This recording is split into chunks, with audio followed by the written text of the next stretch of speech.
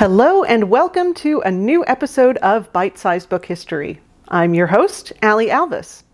I am a rare book cataloger at antiquarian book dealer Type Punch Matrix, which is where I am now. But what exactly is an antiquarian book dealer? And how are they different from a secondhand bookseller? And what do either of these people even do? As with many things in the rare book world, there are lots of definitions for these two concepts, none of which most people agree on. Usage varies widely. Even Carter's ABC for Book Collectors defines antiquarian bookseller by the variety inherent in the trade, rather than providing an actual definition. In his Dictionary of the Book, Sidney Berger also dodges the question somewhat although he notes that books in antiquarian bookshops tend to be more quote unquote valuable than those in secondhand or used bookstores. The term antiquarian is kind of the linchpin here. Antiquarian comes from the Latin word antiquarius, meaning pertaining to ancient times. Roman writers such as Pliny the Elder were particularly interested in exploring the monuments of history, searching for the origins of various aspects of life. For centuries, an antiquarian was a someone, not a something. An antiquarian was interested in this search for origins and curiosities across various fields, focusing on historical objects, the stuff, rather than the narrative. All this is to say that the term antiquarian book is basically shorthand for old and interesting book.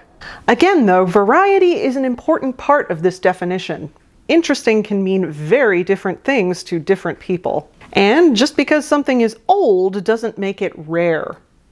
The term rare has its own ins and outs of definition disagreement, but in general it is more inclusive than the term antiquarian. It's a term that can be used to describe modern productions and artists' books, in the same way that it describes the Bay Psalm book. An inscribed first edition of Stephen King's Carrie is not an antiquarian book, but it is a rare book. This is part of the reason why we have rare book libraries and special collections libraries rather than antiquarian libraries. Type Punch Matrix describes itself as a rare book firm, which is a conscious choice. It offers a bit more clarity on the kind of work that we do and the kind of books that we have. Bookseller Don Lindgren of Rabelais Rare Books describes antiquarian as more of an approach than any single object. It's a continuation of the tradition of antiquarian as individual, and a way to focus on books as unique historical objects in their own right. While some booksellers specialize in areas like science or Americana, Something that I really like about Type Punch Matrix is the variety that we have. I've been lucky enough to catalog picture books that I loved as a kid that sell for like 35 bucks here. But I've also been able to catalog incredible 17th century works that push five figures. When you really sit down to think about it, all this variety is really what makes the book trade what it is. Every book buyer has different preferences, and part of being a bookseller is figuring that out. I've only been a bookseller for a little over a year now, but my bosses here at Type Punch Matrix, Rebecca Romney and Brian Cassidy, have a combined total of 30 years of bookselling experience. So let's talk to them about their experiences in the trade and what they can tell us about the wonders of book collecting and bookness in general. Thank you for joining me today uh, here at work, where we all work. Not too much of a commute for you. So this is Rebecca Romney and Brian Cassidy, uh, the two owners and uh, directors of Type Punch Matrix. So Rebecca, how did you get into bookselling? So I got into bookselling entirely by accident. I did not know it was a thing before I had first seen that job that uh, actually was the one I applied for and got it. It was one of those moments where I actually thought I shouldn't even apply to this because I'm not qualified to be a rare book dealer, but it turned out I had all the qualifications they were seeking. And because of that, I did get the job. And as with most people who are in the rare book trade, I learned on the job like an apprenticeship. That is the old school way of learning how to do this, and it is still the best way to learn how to do it because you have someone who can kind of guide you through the process. Um, and for me, I was very, very lucky to have people around who had a lot of experience who could kind of point out things to me before I really went off the rails and things like that. And so for me, it was really being in the right place at the right time with the right background and then jumping on the opportunity when it appeared. So I know I am lucky. I am happy and grateful every day for the, the situation that sort of found me. And it really was the right fit for me in the end because what I had planned to do was really not going to be a good idea for me. So I'm glad it all worked out. Um, Brian, how did you get into the rare book trade? I've told this story before as well, but I, I like to joke I, I, ended up a rare book dealer because I failed as a poet. Um, I uh, uh, I spent much of my 20s. I, I, got an MFA, and I spent much, much of my 20s um, teaching um, mostly part-time and adjunct positions. Um, and to make ends meet, um, since those didn't pay well, were part-time. I, I spent a lot of time working in bookstores. Um, so I worked in a bookstore when I was uh, getting my graduate degree. Um, and then I worked in a series of bookstores um, throughout my 20s. And th- this was the, the mid to late 90s, and eBay was just starting to get rolling. And uh, one of the things about working, I was working mainly in new and independent bookstores. And one of the things about new and independent shops is um, you, you end up with a lot of free books. You end up with a lot of advanced readers' copies and proofs. And um, I worked at a couple of bookstores that had great um, reading series. I ended up with signed books. Um, and I sort of uh, slowly started um, flipping some of these on eBay in the early days. Um, and then uh, it, just really just sort of grew from there. I kind of became increasingly aware that um, rare books was a thing you could do. Um, and uh, eventually um, in 2004, I started my own business and started listing on Abe and elsewhere. And here, here we are. 10,000 10, books later. Yeah. we, we joked that we really came from opposite ends of the trade, where, you know, Brian started at a place where he had to earn his way, work his way up to what uh, he became with his business. And I received a sort of top down training and had to learn totally different skills much later because when you start an established company, there are certain things you kind of take for granted mm. that I had to learn from scratch when I left that company. And so we joke that we each have a very different skill set for that reason that's kind of complementary. And between us, we each know half of the trade. It's just a different half for each of us. Right. So, what makes a book rare? And I've talked a little bit about antiquarian versus rare versus secondhand. And Brian, you mentioned secondhand. What what exactly makes a rare book? Well, there's kind of two ways you can think about that. There's you can think of a rare book in its absolute literal term. Um, a book can be rare objectively, um, which is to say, it is. Uh, there are very few copies, and it is very difficult to find. Um, and we do certainly use the term rare in that sense in, in our business. But generally, when people are talking about rare, what they really mean is um, a book that is collectible for, for one reason or another. Um, so a book that's signed or a book that's a first edition. Um, it's, it's a book that, that um, uh, combines some element of, of the history of the object itself with some measure of desirability. Um, so uh, those two things together are generally what we mean when we say rare um, at least when we use the term rare books. I like to perhaps oversimplify it into an equation. For me, it's very much a supply and demand equation, like any marketplace. But the supply side is what we call scarcity. You know, if there aren't that many copies. And then demand is the collectability side. And so something that is very scarce and in high demand is a rare book. Um, and so that again is very, very simple. And the idea is for any individual book, you kind of have to weigh the supply and demand. How much do people want it? How many copies survive? In what condition? Whether it's signed?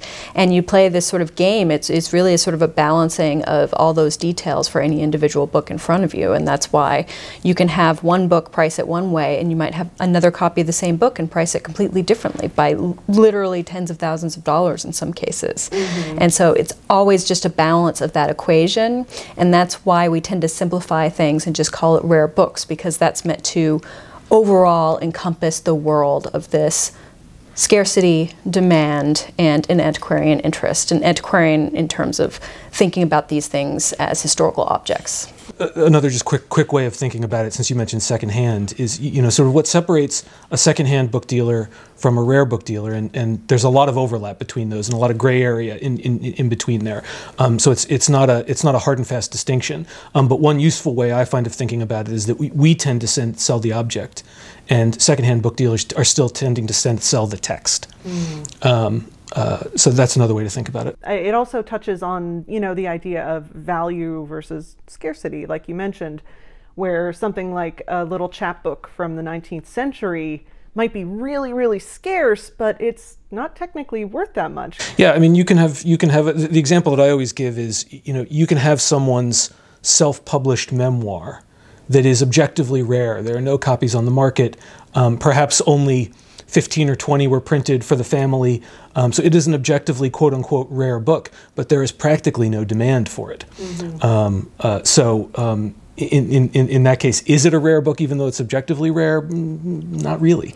Well, on the other hand, there are books that are um, not rare at all. They're incredibly common, but they're in really high demand. And so, I mean, one example of this is Toni Morrison's Beloved, mm-hmm. which is a book that is actually not that expensive on the collectible marketplace relative to a lot of other books, and especially for its importance but it's just that there were so many copies printed mm-hmm. that it's really really easy to find a first edition. So you know it, you look at it and you often think like how can this only be you know $800 for a signed edition or whatever it is? And because in comparison you think toni morrison nobel prize winner beloved and you think it should be way way way more. But even though you know i feel that way i can't just throw a big price on it because I think that. The rest of the marketplace is right there and there are so many copies that the supply side, you know, is undeniable and you have to incorporate that into your thoughts. Yeah, so very much the selling side of book selling. We've talked a little bit about the, the logistics of that and the practicalities, um, but how exactly do you sell a rare book? Well, first you have to find them.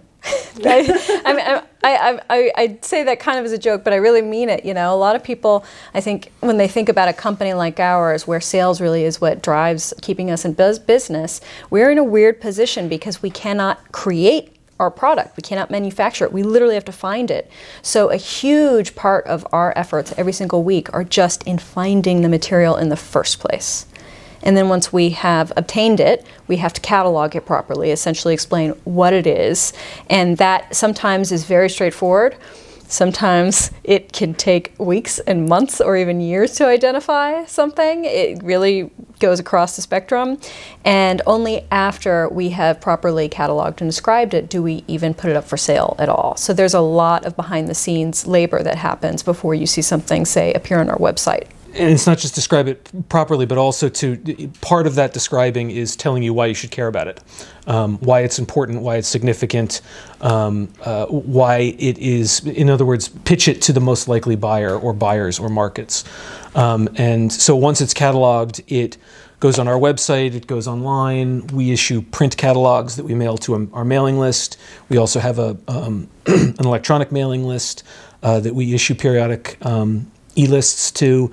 We go to book fairs. Um, we have established clients and customers that we will directly offer material to that we know they're potentially interested in or explicitly looking for. Um, so there's a number of different avenues.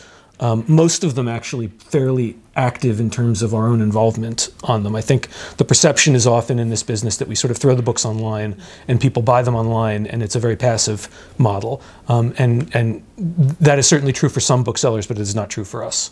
I love the interaction part. I mean, one of the reasons that I have felt that rare book selling was the right fit for me is because I love hearing people get really passionate about whatever it is they're into.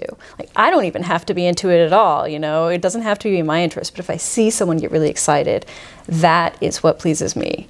And so for me, a lot of the selling that I do and a lot of the ways that we try to approach book selling, even online when you're dealing with that sort of extra layer where it's not necessarily person to person, is to focus on the passion and the joy in this.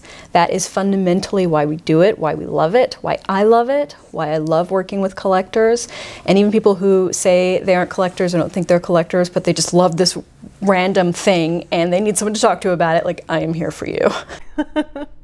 Yeah, speaking of collecting, I mean, a lot of people think that to buy a book from an antiquarian book dealer or a rare book dealer, you have to be a collector. And, you know, I have some books, but I don't know if I'm a collector per se. So, uh, can I still buy books from you? I mean, I know I do. But for those of you out there who think that they might not be collectors, uh, let Brian and Rebecca tell you about how it's a little easier than you might think. Collectible and rare does not translate to expensive. Um, we have 15 20 $25 books, lots of them, in fact. Um, it's, it's really about um, as I said before, it's really kind of about why you're buying it. Um, you know, so if the object, the historical object and its history and um, uh, the, the, the, bibliography, the story of the book um, is part of why you're buying it, um, then you're a collector no matter what price point you're buying it at. Um, you can actually put together a collection of quote unquote used books that would actually be very interesting. Um, you know, I've, I've known collectors who put together huge collections of one particular title. You know, 50 editions of On the Road or 100 editions of Grapes of Wrath. Um, and uh, many of those collections are comprised of books that, outside of that context, really would be considered a used book, you know, a, normal, a regular paperback. Um, so uh, uh, if, if, if you are buying books and keeping them and um, enjoying and appreciating them for their objectness, um, then you are, you are a book collector. Yeah, exactly. I think that there is an idea about what a book collector is, and it tends to be the sort of headline type of book collector. It's a lot of money, it's, you know, all fancy authors, it's things that maybe you're not interested in at all. And I don't think that that is actually relevant to what most people do as collectors. Um, speaking for myself, I have a collection of Gothic romances from the 1960s and 70s, all published by a paperback publisher, Ace. And these are, you know, awful paperback productions. And I mean awful in terms of, you know, the, the paper is totally like acid toned at this point and it's really hard to find them not falling apart. And one of the rules for that collection of mine that I love is I don't spend more than $10 a book on those. And that's, you know, an arbitrary rule that I kind of made for myself, but I could because this is a category where I can do that. So it's just a question of thinking about approaches that work for your circumstances. If you, you know, don't live in a place where there are a lot of secondhand bookshops to browse, you can still find a lot online. There are even great booksellers, you know, on Instagram, and you don't even have to go to like ABE or places like that. There are so many different places where you can look. So you don't have to be in a bookish city anymore. You don't have to have a lot of money. You can even create found collections material that you don't even have to purchase. Um, there are so many different ways to approach it. And if you're looking for ideas, the Honey and Wax Book Collecting Prize, which um, I co-founded with Heather O'Donnell of the Honey and Wax Booksellers. This was we're in our sixth year now. So that is a book collecting prize for women in the U.S. under 30 years old. And the thing that's amazing about these collections, the winners have such creative approaches. In some cases, they have award-winning collections that fit into a shoebox. You know, or they're things that truly they didn't even spend any money on. They got them entirely in trade. So there are so many different ways to collect, and the question is, what makes you excited? What do you want to explore? And you can take that exploration and like make it 3D in this sort of treasure hunt of book collecting. Hmm. Yeah, I, I, definitely feel that. Um, if you've watched my bookshelf tour about that really awful Bible that I bought a while back, uh, the one that has like hair and fingernails and terrible things in the gutters, uh, you know that I collect yucky books, and that's as valid as a collecting concern as uh, anything else. I, I at least think so. Um, You're right. I, I agree. we unfortunately don't have many around here. Fortunately, unfortunately. Uh, I think that's part of being a bookseller is keeping stuff on hand that isn't actively falling apart. Well, part part of being a bookseller is um, what you say no to. Mm. Um, part, part, part of what we do is, part of the service that we provide is a certain amount of filtering, um, of saying, you know, th this is a book um, in collectible condition, and, um, you know, we, we, we say no to way more books that we're offered than we buy. Um, I, I, mean, I think probably something, you know, five or 10 to one is probably what the ratio looks like. Um, and most often we're saying no to a book, not because of the book itself, but because of the condition. Um, uh, we, you know, we, we, it's really important to us that we only bring in books um, that are in collectible condition and that we can really feel good about offering. Because um, so many people, when they collect, the, the concern is, you know, they become a caretaker for this book, you know, and they're worried about, you know, is this something that I feel like I can care for?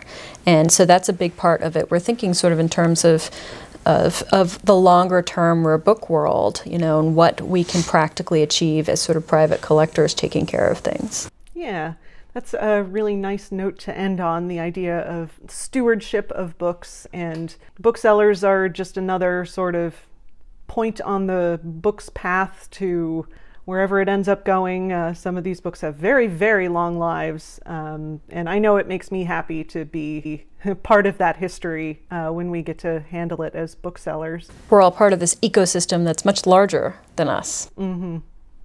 Yeah, it's kind of nice to belong.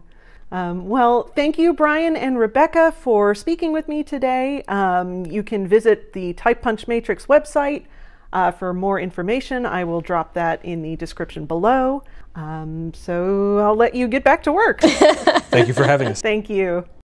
That does it for this episode of Bite Sized Book History.